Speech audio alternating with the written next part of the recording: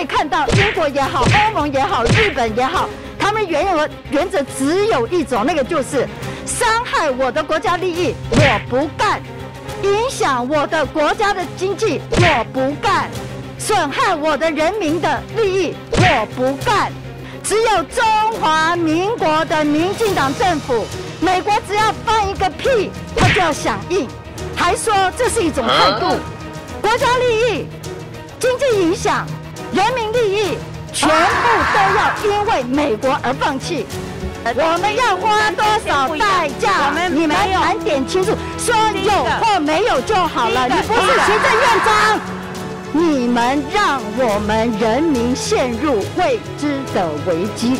你们说要制裁俄罗斯，但是我看到的却是你们在制裁所有的台湾人民。请你下台，谢谢。请你下台，请你下台，谢谢。主席今天安排的一个题目是：俄乌战争影响全球能源跟原物料的供需，对我国的冲击还有政府应应知道非常的重要。所以今天我站在这边，我心情非常的沉重跟沉痛。今天有四个部会，你们提供的资料有国发会。我们请龚主委，还有经济部王部长、财政部李次长以及中央银行严副总，请这四位上台。李次长，因为影响深远，所以特别安排了这样子的题目，来让全国人民知道，在激情之下，我们要怎么应应，我们的未来是什么？然后我们的政府的一个错误的态度跟政策，到底人民影响了什么？三月八号，美国总统拜登他宣布，美国要禁止进口俄罗斯的石油，还有其他的能源。而我们的民进党政府，我们也非常的高调宣誓要制裁俄罗斯，要全面中断台俄双边进出口的贸易。根据今天你们的报告，然后我就先由中油和台电的说法好了。台电跟中友说，二零二一年台湾从俄罗斯进口的煤炭只占进口总量的百分之十六点六，从俄罗斯进口的天然气只占进口总量的百分之九点三，对俄罗斯的贸易进口量只占台湾总贸易总量的百分之零点七六，出口的总额是十三亿美元，进口的是五十亿美元。副总统赖清德他说，我们不得不制裁俄罗斯的。他还讲什么？他说台湾是民主阵营的一员，所以我们一定要参加，这就是一个态度。请问在场的你们，你们的态度是跟赖清德副总统一样吗？请龚诸位，请王美花部长。啊，包委员，我们这次配合整个。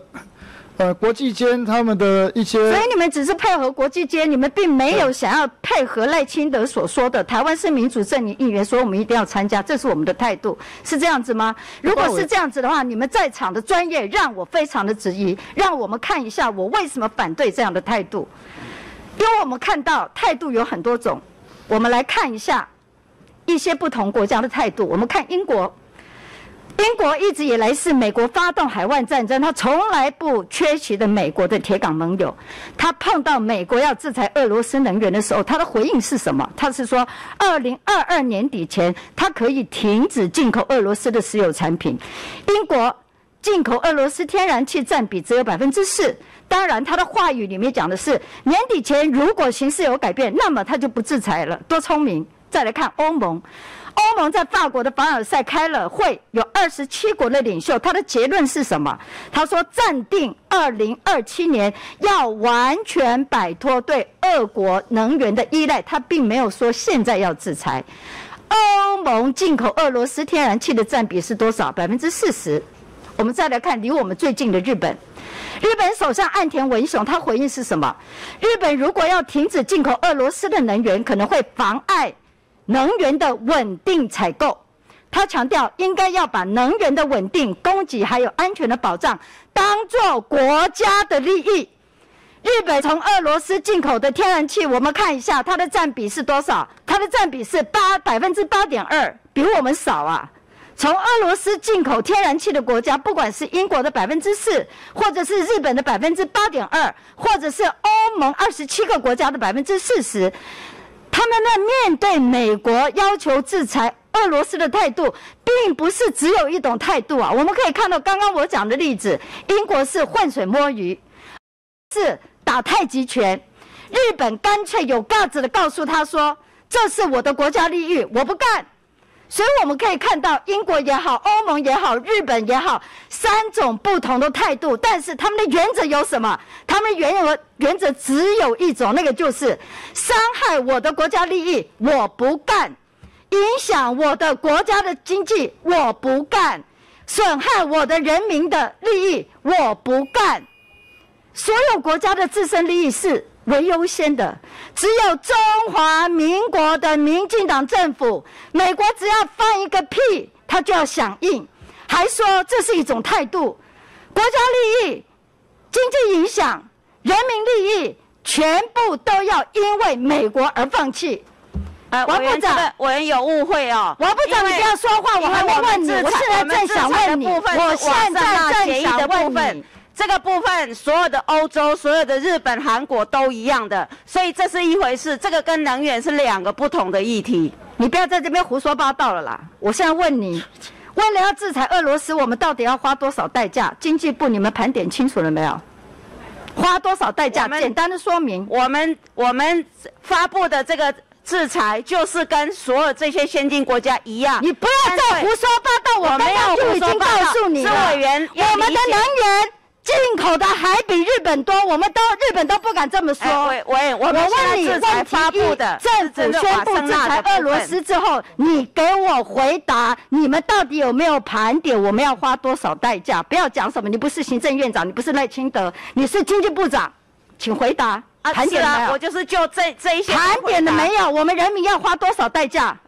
我们现在制裁的东西，委员，我是跟委员澄清，我们现在制裁的东西，我们要花多少代价？我们你们盘点清楚，说有或没有就好了。你不是行政院长，那我在这边，我就是要跟委员回答。盘点了没有？我们都很清楚相关的国际趋势跟台湾的需求。盘点了没有？本来就有盘点啊，本来就有盘点。好。政府宣布制裁俄罗斯之后，有没有跟进美国禁止进口俄罗斯的天然气和煤炭？请说明。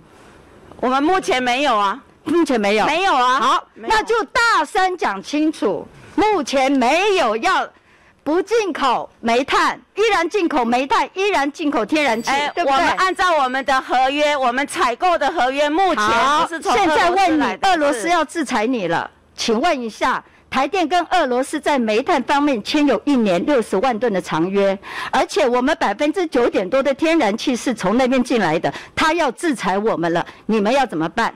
呃，跟我如果他制裁我们的话，对，天然气和煤炭的能源缺口，你们要怎么补足？我们俄罗斯的约，天然气今年三月就已经到期了，我们本来就有去跟别人采购了，跟谁采购？价钱跟俄罗斯一样吗？这个是国际的呃长约的价格，多少跟俄罗斯一样吗？是比较贵还是比较便宜？长约的价格都差不多的，差不多是差多少？跟委员报告相关的契约的具体的价格，因为这个都是商业的比较机密，又是秘密了。好了，但是这个价格我们谈的是非常好的价格，比俄罗斯还便宜吗？呃，我们的理解是这个样子，没有这个样子是什么？就是比俄罗斯的便宜，是比俄罗斯便宜，是的，是。然后天然气也比它便宜。我们采购的那个呃，代替俄罗斯到期之后，新的采购的合约谈的不错，是不错，是比便宜。你清楚讲嘛？天然气跟煤炭都是吗？是没有错，我现在讲的天然气，因为我们天然气跟煤炭都是比俄罗斯还便宜吗？我们的煤炭台电从俄罗斯买的是三趴，三趴也很重要。这个合约如果他制裁我们，他不要了，我们要从哪里拿？我们本来都，我们这个相关的煤的来源都有准备好了。好了，部长是还记得哈？上个会期我在这边也咨询你，我说天然气的价格高涨会不会影响台电？台湾电价的时候，你说价格高涨的是现货市场的价格，我们的天然气都有签约，所以影响不大。看一下，后来采购天然气的结果是什么？却是本来有盈余的中油，中油在现场嘛，对不对？因为采购变成了大幅赤字，我们现在已经亏损了七百四十九亿。现在政府要制裁俄罗斯，而你刚刚说我们跟他的天然气跟煤炭。并没有停止合约，可是人家要制裁我们啊。所以呢，原先我们跟俄国采购的百分之九点三天然气，还有百分之三的煤炭的能源缺口，我相信你刚告诉我们说是有签其他的约了。那煤炭是长约，是不是要到这个所谓的能源市场去抢购一日速涨的能源现货？而我们相信高涨的能源价格，它一定是带动万物齐涨的。所以今天会有这么多的部会在这里说说明报告。您刚刚一直在胡说八道哈，所以我不接受委员这样的评论啦，因为我们是就。所以我认为我们台湾那么高调的制裁人家。引起人家的反制裁，这让相关的产业还有台湾的人民陷入了未知的危机之中。所以今天我们的主席安排了你们要各部会的报告，你们让我们人民陷入未知的危机，人民的利益到底在哪里？你们说要制裁俄罗斯，但是我看到的却是你们在制裁所有的。台湾人民，你们为了要民进党的继续执政，你们在制裁台湾人民。经济部长，请你不要再说话了，你已经是全台湾公正，你已经是全台湾公认最没有架子也最没有这个专业的部长了，请你下台好了，好不好？谢谢。谢谢你，请你不要在这里胡说八道了，请把请把以后专业的部长请来，请你下台，谢谢，请你下台。请你下台，谢谢。如果你下台的话，全民会非常高兴。谢谢。水神抗菌液呢，它比较特别的是，它的成分是微酸性电解次氯酸水，所以是温和不刺激，所以呢是没有残留、没有污染，一天使用很多次也不会刺激你的肌肤。小朋友、孕妇都可以用。我们可以到快点购来购买，也可以输入燕莹的推荐代码 CTI，我发发好可以有折扣哦。